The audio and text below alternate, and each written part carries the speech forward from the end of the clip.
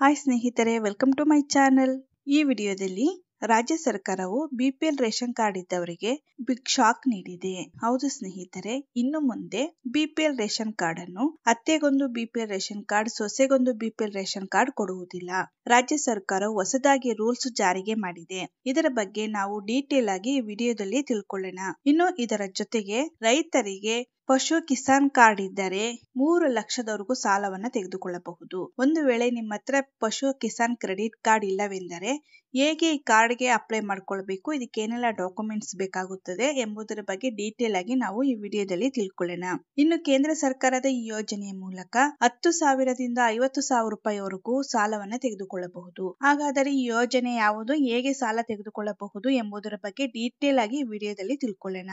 ಅದಕ್ಕಿಂತ ಮುಂಚೆ ನೀವು ಇನ್ನೂ ನಮ್ಮ ಚಾನೆಲ್ಗೆ ಸಬ್ಸ್ಕ್ರೈಬ್ ಆಗಿಲ್ಲವೆಂದರೆ ಈಗಲೇ ಸಬ್ಸ್ಕ್ರೈಬ್ ಆಗ್ಬೋದಲ್ವಾ? ನೀವು ಇನ್ನೂ ವಿಡಿಯೋಗೆ ಲೈಕ್ ಮಾಡಿಲ್ಲವೆಂದರೆ ಈಗಲೇ ಲೈಕ್ ಮಾಡಿ ಮತ್ತು ವಿಡಿಯೋನ ಸ್ಕಿಪ್ ಮಾಡದೆ ಕೊನೆಯವರೆಗೂ ನೋಡಿ. ರೇಷನ್ ಕಾರ್ಡ್ಗೆ ಮೊದಲಿನಿಂದಲೂ ಮಹತ್ವ ಇದೆ. ಅದರಲ್ಲೂ ಬಿಪಿಎಲ್ ರೇಷನ್ ಕಾರ್ಡ್ ಹೊಂದಿರುವವರಿಗೆ ಸರ್ಕಾರದ ಹಲವು ಯೋಜನೆಗಳ ಪ್ರಯೋಜನ ಸಿಗುತ್ತದೆ. ಆದರೆ ಅದೆಷ್ಟೋ ಜನ ಬಿಪಿಎಲ್ ಕಾರ್ಡ್ ಹೊಂದಿದ್ದರೂ ಕೂಡ ಅದರ ಬಗ್ಗೆ ಹೆಚ್ಚು ಲಕ್ಷ್ಯ ವಹಿಸದೆ ಅದರ ಸರಿಯಾದ ಪ್ರಯೋಜನ ಕೂಡ ಪಡೆದುಕೊಂಡಿಲ್ಲ. ಯಾವಾಗ ರಾಜ್ಯ ಸರ್ಕಾರ ಗ್ಯಾರಂಟಿ ಯೋಜನೆಗಳನ್ನು ಘೋಷಣೆ ಮಾಡಿತು ಆಗ ಮನೆಯ ಮೂಲೆಯಲ್ಲಿ ಬಿದ್ದಿದ್ದ ರೇಷನ್ ಕಾರ್ಡ್ಗೂ ಕೂಡ ಮೌಲ್ಯ ಸಿಕ್ಕಿದೆ. ರೇಷನ್ ಕಾರ್ಡ್ ಮಹತ್ವ ಅರಿತ ಜನ. ಹೌದು ಇತ್ತೀಚೆಗೆ ರೇಷನ್ ಕಾರ್ಡ್ ಎನ್ನುವುದು ಸರ್ಕಾರಿ ಯೋಜನೆಯ ಪ್ರಯೋಜನಗಳನ್ನು ಪಡೆದುಕೊಳ್ಳಲು ಎಷ್ಟು ಮುಖ್ಯ ಎಂಬುದು ಎಲ್ಲರಿಗೂ ತಿಳಿದಿದೆ. ಬಡತನ ರೇಖೆಗಿಂತ ಕೆಳಗಿನವರಿಗೆ ಬಿಪಿಎಲ್ ಕಾರ್ಡ್ ನೀಡಲಾಗುತ್ತಾದರೂ ಹಲವು ಅನುಕೂಲಸ್ಥರು ಕೂಡ ಬಿಪಿಎಲ್ ಕಾರ್ಡ್ ಅನ್ನು ತಮ್ಮ ಹೆಸರಿಗೆ ಮಾಡಿಕೊಂಡು ಅದನ್ನು ಮೂಲೆಗೆ ಎಸೆದು ಬಿಟ್ಟಿದ್ದಾರೆ ಹೊರತು ಅದರ ಪ್ರಯೋಜನ ಪಡೆದುಕೊಳ್ಳುತ್ತಿಲ್ಲ.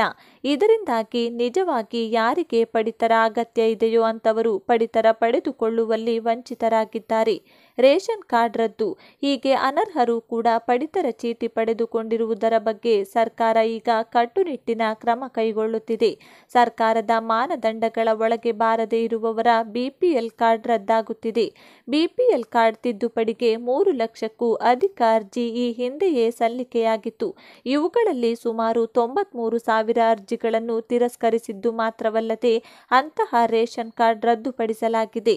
ಅತ್ತೆ ಸೊಸೆಗೆ ರೇಷನ್ ಕಾರ್ಡ್ ಆತಂಕ ಇನ್ನು ಗೃಹಲಕ್ಷ್ಮಿ ಯೋಜನೆ ಅಡಿಯಲ್ಲಿ ಎರಡು ಸಾವಿರ ರೂಪಾಯಿಗಳನ್ನು ಪಡೆದುಕೊಳ್ಳಲು ರೇಷನ್ ಕಾರ್ಡ್ನಲ್ಲಿ ಸಾಕಷ್ಟು ಗಿಮಿಕ್ಗಳನ್ನು ಮಾಡಲಾಗ್ತಿದೆ. ಒಂದೇ ಮನೆಯಲ್ಲಿ ವಾಸಿಸುವ ಅತ್ತೆ ಸೊಸೆ ತಮಗೆ ಇಬ್ಬರಿಗೂ ಎರಡು ಸಾವಿರ ರೂಪಾಯಿಗಳು ಸಿಕ್ಕರೆ ಸಿಗಲಿ ಎನ್ನುವ ಕಾರಣಕ್ಕೆ ಪ್ರತ್ಯೇಕ ರೇಷನ್ ಕಾರ್ಡ್ ಮಾಡಿಸಿಕೊಳ್ಳಲು ಮುಂದಾಗಿದ್ದಾರೆ. ಮುಂದೆ ರೇಷನ್ ಕಾರ್ಡ್ನಲ್ಲಿ ಅತ್ತೆ ಸೊಸೆ ಹೆಸರು ಇದ್ದರೆ ಪ್ರತ್ಯೇಕ ರೇಷನ್ ಕಾರ್ಡ್ ಮಾಡಿಸಿಕೊಳ್ಳಲು ಒಬ್ಬರ ಹೆಸರನ್ನ ತೆಗೆದುಹಾಕಲು ತಿದ್ದುಪಡಿ ಮಾಡಿಕೊಳ್ಳಲು ಹೋದಾಗ ಈ ವಂಚನೆಯ ವಿಚಾರ ಹೊರಗಡೆ ಬಂದಿದೆ. ಹಾಗಾಗಿ ಒಂದೇ ಅಡ್ರೆಸ್ನಲ್ಲಿ ವಾಸವಾಗಿರುವ ಅತ್ತೆ ಸೊಸೆ ಬೇರೆ ಬೇರೆ ಕಾರ್ಡ್ ಮಾಡಿಸಿಕೊಳ್ಳಲು ಸರ್ಕಾರ ಅನುಮತಿ ನೀಡಿಲ್ಲ. ಜೊತೆಗೆ ಇಂತಹ ಅರ್ಜಿಗಳನ್ನು ತಿರಸ್ಕರಿಸಿರುವುದು ಮಾತ್ರವಲ್ಲದೆ ಇರುವ ಒಂದು ರೇಷನ್ ಕಾರ್ಡನ್ನು ಕೂಡ ರದ್ದುಪಡಿಸಲಾಗ್ತಿದೆ. ಗೃಹಲಕ್ಷ್ಮಿ ನಿಯಮ ತಿಳಿದುಕೊಳ್ಳಿ. ಒಂದು ಕುಟುಂಬದಲ್ಲಿ ಅತ್ತೆಯ ಜೊತೆಗೆ ಎಷ್ಟೇ ಸೊಸೆಯಂದಿರು ಇದ್ದರೂ ಗೃಹಲಕ್ಷ್ಮಿ ಸಿಗುವುದು ಮಾತ್ರ ಆ ಮನೆಯ ಮೊದಲ ಮಹಿಳೆ ಅಥವಾ ಕುಟುಂಬದ ಯಜಮಾನಿ ಅತ್ತೆಗೆ ಮಾತ್ರ. ಒಂದು ವೇಳೆ ಅತ್ತೆ ತನಗೆ ಬೇಡ ಎಂದು ಹೇಳಿದರೂ ಕೂಡ ಆಕೆಯ ಹೆಸರಿನ ಬದಲಾಗಿ ಸೊಸೆಯ ಹೆಸರನ್ನು ಕಾರ್ಡ್ನಲ್ಲಿ ಸೇರಿಸುವಂತಿಲ್ಲ. ಹಾಗೇನಾದರೂ ಮನೆಯ ಹಿರಿಯ ಮಹಿಳೆ ಬದುಕಿದ್ದು ಅವರಿಗಿಂತ ಕಿರಿಯವರು ಅರ್ಜಿ ಸಲ್ಲಿಸಿದರೆ ಅಂತಹ ಗೃಹಲಕ್ಷ್ಮಿ ಅರ್ಜಿ ತಿರಸ್ಕರಿಸಲ್ಪಡುತ್ತದೆ. ಹೈನುಗಾರಿಕೆಯನ್ನು ಪ್ರೋತ್ಸಾಹಿಸಲು ರಾಜ್ಯ ಮತ್ತು ಕೇಂದ್ರ ಸರ್ಕಾರಗಳು ಅನೇಕ ಯೋಜನೆಗಳನ್ನು ಅನುಷ್ಠಾನಗೊಳಿಸಿವೆ. ಇದಕ್ಕಾಗಿ ಹಲವು ರೀತಿಯ ಸಾಲ, ಸಬ್ಸಿಡಿ ಸೌಲಭ್ಯಗಳನ್ನು ಕಲ್ಪಿಸಿದ್ದು, ವಿವಿಧ ಬ್ಯಾಂಕುಗಳ ಮೂಲಕ ಈ ಸೌಲಭ್ಯಗಳನ್ನು ಬಳಸಿಕೊಂಡು ಹೈನುಗಾರಿಕೆಯಲ್ಲಿ ಯಶಸ್ಸು ಸಾಧಿಸಬಹುದು. ಈ ಪೈಕಿ ಪಶುಸಂಗೋಪನೆಯನ್ನು ಕೃಷಿಗೆ ಪೂರಕ ಕ್ಷೇತ್ರಗಳೆಂದು ಘೋಷಿಸಿ, ಈ ಕ್ಷೇತ್ರದಲ್ಲಿ ತೊಡಗಿಕೊಂಡಿರುವವರಿಗೂ ಕಿಸಾನ್ ಕ್ರೆಡಿಟ್ ಕಾರ್ಡ್ ಸೌಲಭ್ಯವನ್ನು ವಿಸ್ತರಿಸಲಾಗಿದೆ. ಎರಡು ಸಾವಿರದ ಹತ್ತೊಂಬತ್ತು ಇಪ್ಪತ್ತನೇ ಸಾಲಿನಿಂದ ಪಶುಪಾಲನೆಗೂ ಈ ಯೋಜನೆಯನ್ನು ವಿಸ್ತರಿಸಲಾಗಿದೆ. ಪಶು ಕಿಸಾನ್ ಕ್ರೆಡಿಟ್ ಕಾರ್ಡ್ ಯೋಜನೆಯಡಿ ಹಸು ಮತ್ತು ಎಮ್ಮೆ ಪಾಲನೆಗಾಗಿ ರೈತರಿಗೆ ಸಾಲ ನೀಡಲಾಗುತ್ತದೆ. ಈ ಕಾರ್ಡ್ ಹೊಂದಿದ್ದರೆ ರೈತರು ಯಾವುದೇ ಗ್ಯಾರಂಟಿ ಇಲ್ಲದೆ ಪಶುಪಾಲನೆ ಮಾಡಲು ಸಾಲ ಪಡೆಯಬಹುದು.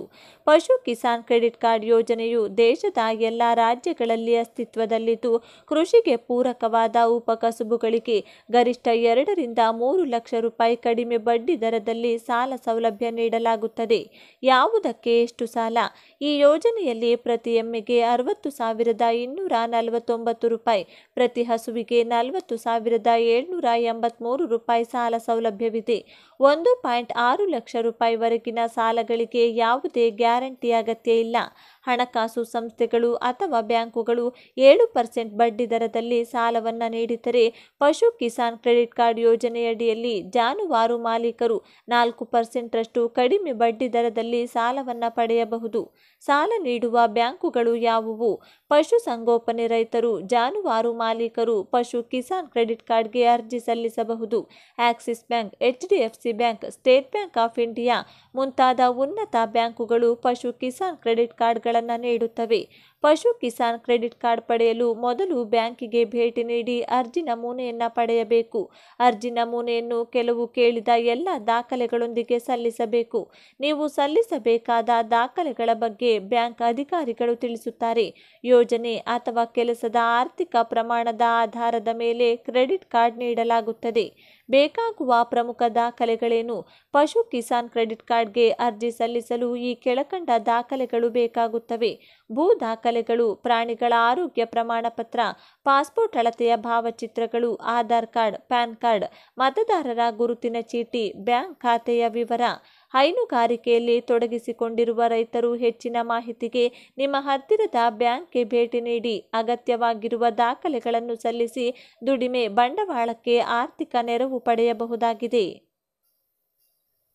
ಮುದ್ರಾ ಯೋಜನೆ ಅಡಿಯಲ್ಲಿ ಸರ್ಕಾರವು ಯಾವುದೇ ಖಾತರಿ ಇಲ್ಲದೆ ಐವತ್ತು ಸಾವಿರ ರೂಪಾಯಿಂದ ಹತ್ತು ಲಕ್ಷ ರೂಪಾಯಿವರೆಗೆ ಅತಿ ಕಡಿಮೆ ಬಡ್ಡಿ ದರದಲ್ಲಿ ಸಾಲ ಸೌಲಭ್ಯವನ್ನು ಪ್ರತಿಯೊಬ್ಬರಿಗೂ ಒದಗಿಸಿಕೊಡುತ್ತದೆ.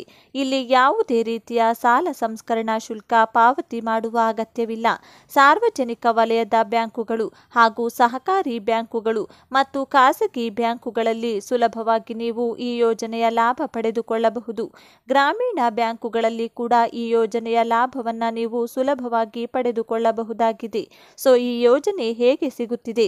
ಮತ್ತು ಯಾವೆಲ್ಲ ದಾಖಲಾತಿಗಳು ಬೇಕಾಗುತ್ತವೆ ಅಂತ ನೋಡೋದಾದ್ರೆ ಮೊದಲಿಗೆ ಈ ಯೋಜನೆಯನ್ನು ಮೂರು ಭಾಗಗಳಾಗಿ, ಅಂದರೆ ಯೋಜನೆಗಳಲ್ಲಿಯೇ ಉಪಯೋಜನೆಗಳೆಂದು ಮಾಡಲಾಗಿದ್ದು, ಮೊದಲಿಗೆ ಶಿಶು ಯೋಜನೆ. ಹೌದು, ಈ ಶಿಶು ಲೋನ್ ಯೋಜನೆ ಅಡಿಯಲ್ಲಿ ಐವತ್ತು ಸಾವಿರ ರೂಪಾಯಿವರೆಗೆ ನಿಮಗೆ ಸಾಲ ಸಿಗಲಿದೆ. ಅದು ಕೂಡ ಅತಿ ಕಡಿಮೆ ಬಡ್ಡಿ ದರದಲ್ಲಿ ಚಿಕ್ಕ ಪುಟ್ಟ ವ್ಯವಹಾರ ಮಾಡುವವರಿಗೆ ಈ ಯೋಜನೆಯ ಲಾಭ ಪಡೆಯಬಹುದು. ಇನ್ನು ಎರಡನೆಯದಾಗಿ ಕಿಶೋರ ಲೋನ್ ಈ ಕಿಶೋರ ಲೋನ್ ಅಡಿಯಲ್ಲಿ ಐವತ್ತು ಸಾವಿರದಿಂದ ಐದು ಲಕ್ಷ ರೂಪಾಯಿವರೆಗೆ ಸಾಲ ಸೌಲಭ್ಯ ಪಡೆಯಬಹುದಾಗಿದ್ದು, ಮಧ್ಯಮ ವರ್ಗದ ವ್ಯಾಪಾರಸ್ಥರು ಈ ಯೋಜನೆಯ ಲಾಭವನ್ನು ಪಡೆಯಬಹುದು. ಇನ್ನು ಕೊನೆಯದಾಗಿ ತರುಣ ಲೋನ್ ಯೋಜನೆ.